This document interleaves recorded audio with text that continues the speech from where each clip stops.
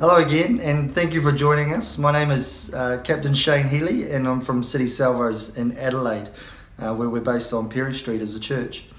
Um, during this time of COVID 19, as you're all aware, um, we, we can't meet as a church, so my wife Sarah and I, Captain Sarah and I, are choosing to do these little uh, blogs and just share some thoughts about some scripture, and we're asking you to uh, observe uh, and reflect and put in some application uh, from that scripture as well, so that we continue to be the church.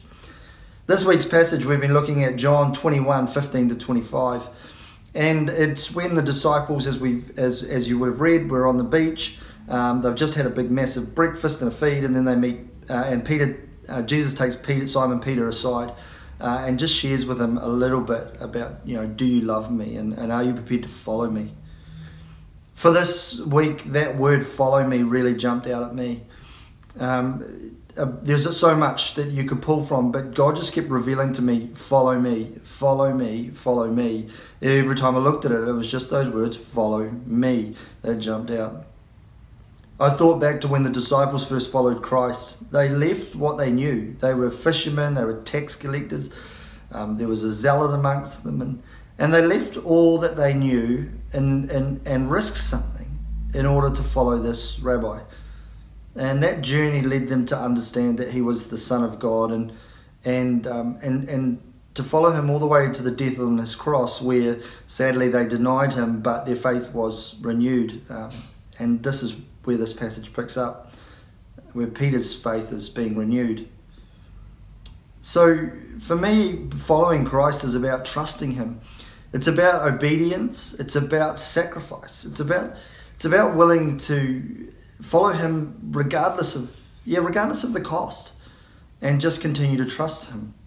In Matthew 16, 24 to 26, Jesus actually tells the disciples at this stage that they are to follow him um, and to deny themselves and to take up their crosses. Of course, they didn't know what that meant then, but it became very real uh, a few years later. So for me, this means to make hard decisions. Following him means making those hard decisions regardless of the sacrifice. Despite even the lack of popularity or the disharmony that that might create, um, if God is asking us to do something, then then and his we must follow His will. Obviously, you do your background, you seek it out, and you you trust that the Holy Spirit's leading you. You can get guidance and counsel for that. But but for me, who likes to keep harmony and to keep people happy, uh, following him is a real challenge um, because because sometimes I, I want to just keep people happy despite what God says. So God really impressed on me, as I've said, those words, follow me.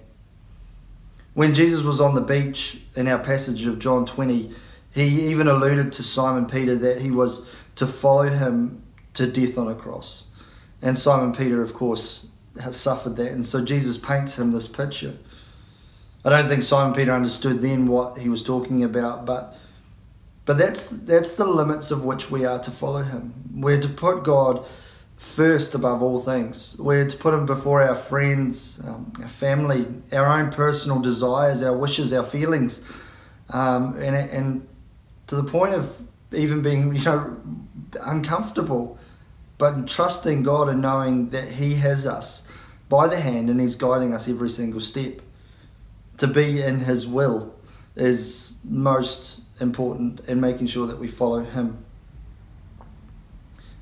It means making sometimes the unpopular decisions, and uh, we're forced as decision as leaders to make these decisions all the time.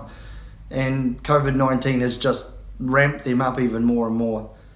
We make unpopular decisions because we want to put God first, regardless of of what other people might say or wish or want. As a Salvation Army, we have these two arms. We have, a, in a way, we have a charity and we also have a church.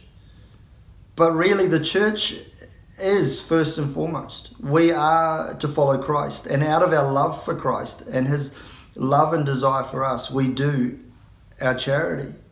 And we need in these days and times to continue to put that hope before people yes, it's good that we, we do good things.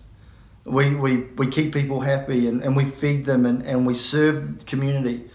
But we must present Christ as a hope. um, above all other things. That that is what must come first. So that's been my challenge this week. Is as a church, how do we do that? How do we do that with fresh eyes post COVID nineteen? And so I've been working hard with Captain Sarah and some of our staff and working trying to find out find discover and highlight i guess faith pathways for people that we may already have uh, and some that we're going to have to put in place. So that when people come to us they don't just simply get a food parcel or a, or some food or, or a blanket but actually get the opportunity to to accept christ and to put him first this may be uncomfortable for some of us but we must we must keep him first so I wonder how have you been doing this week? What has God been saying to you out of this passage? Now, I'm excited if you give me a ring and or give me a text and tell me what God is telling you. I wonder if He's saying similar messages of trusting Him and, and listening to His voice and following Him. Next week, uh, Sarah gets, or in a few days' time, Sarah will bring to us our next passage, which is all focused on the ascension and, uh, and a great commission. And so that comes from Mark 16, 14 to 20. So um, if you want to read that through and, and, and, and get to grips with that passage and listen to what the Holy Spirit's saying, then that would be really awesome. So it's Mark 16, 14 to 20. May God continue to bless you uh, and, and, and may you continue to honour Him as, as you serve Him and put Him first. God bless. See you guys.